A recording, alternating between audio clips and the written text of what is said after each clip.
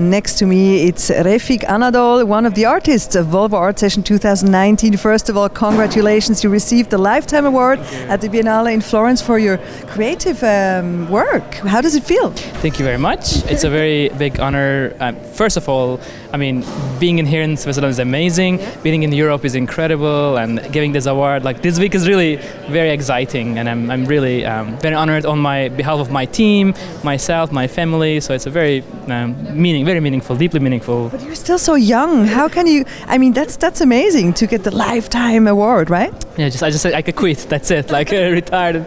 I mean, what they say as a jury, I think that the body of work that I've been creating last almost yes. 10 years, they found that it's enough productivity for a given life. It was a very big honor. So, but I think it's a, just a good catalyst, like a motivation to like push push the more, yeah. More, and more. Yeah.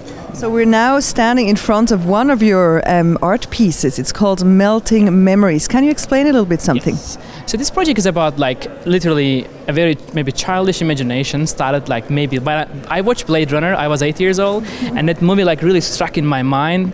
Since then, I'm I never quit like imagination. Like this about near future, like but the future that we can touch, the future that invented by now, not like this further by like 200 years. So this idea was like, like, I mean, I'm very obsessed with our memories, and data is first of all my substance as a like as an artist, but data is very like, I mean, it's, it's, an empty. It's just a mathematical bunch of numbers. And I, I believe that data is actually a memory for us because what we left behind, our decisions, our likes, our comment, whatever. So the memory was always in my mind. But what I was obsessed almost two years ago, like where do they come from? Like where do they go? I mean, these are our most precious things, right? Yes. I mean, hopefully machines will not steal from us, but also like heavily think like, I mean, can we touch a memory? Like, can we feel it?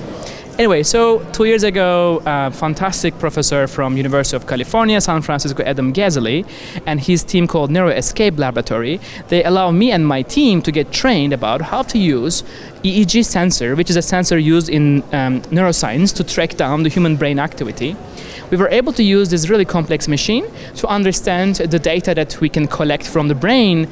And then my quest went like, can we measure the moment of remembering as a signal. And if we can like can we turn this into art? So that was like the whole imagination behind the project. And we i think did that. So thanks. So what exactly do we see here? So so we are seeing a data dramatization yes. of the memory as and a mean of, as a mean of like electric signal. So basically, we get an enormous data set of memory recordings, and thanks to the Adam Gazzaley's team, we learned how to use this data purposefully, not just a bunch of data. And then with, with his team and the support from the, the, the neuroscientists, yeah. we wrote a custom software, look at those data patterns, and then I personally was already involved in this algorithm called the Perlin noise algorithm, which is already in 1986 got the Academy Award. Ken Perlin, an incredible another professor from NYU, and his code was allowing um, creators to create the mountain, sea, sky, ocean. And I thought it's very godly thinking, like what will happen if this maybe algorithm can become a substance for these memories and create this, you know, imagination. So that's what we are watching, the moment of remembering of a couple of milliseconds of data stretch in a couple of minutes and transform into a data sculpture.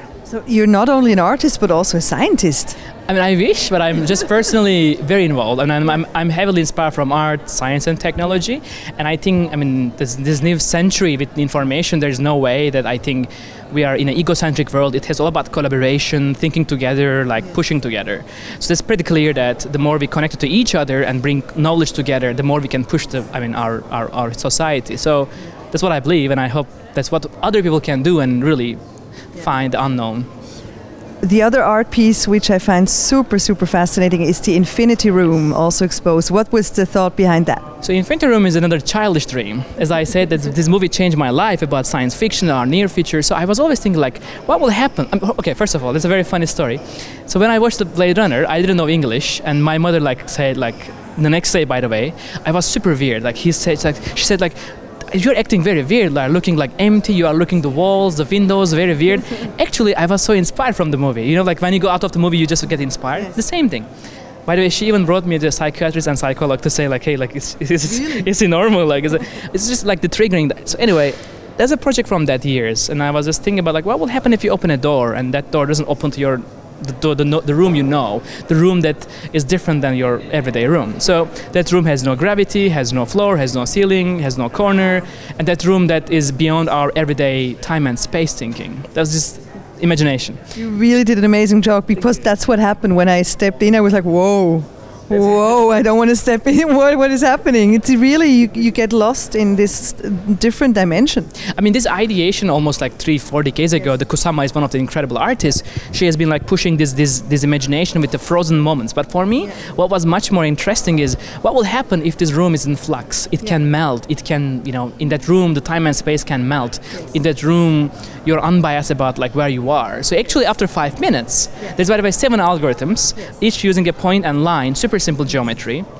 And it can be understood from anyone, any age, any background. By the way, the mission behind this project is try to reach as much as people possible. So I'm doing this because I think it's a kind of universal explanation of the art.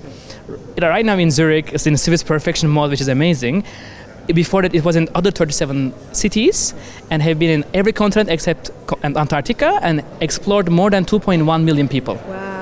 It is congratulations. Really, thank you very much. I mean, really great to be here with, with everyone to share.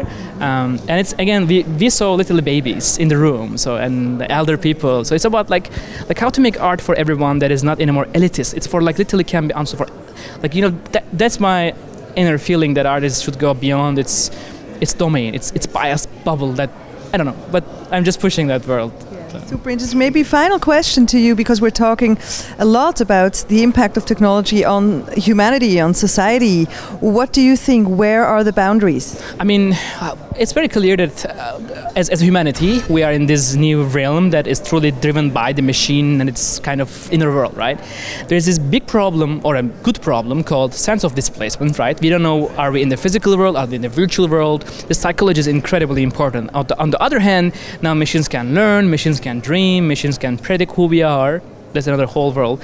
But I feel like I'm, I'm a very optimist person. I learned that the more you stay in this negative narratives or concerns or yes. what ifs you i think it's it's it's important it's critically important i'm not ignoring that but i don't think it's functional to i think doing and just like trying and asking the question and making it happen yeah. i find it much purposeful and impactful for humanity so i'm in the positive side uh, and try to produce optimistically to ask to make the people ask more questions because in the we're in the question age, not anymore answer age, right?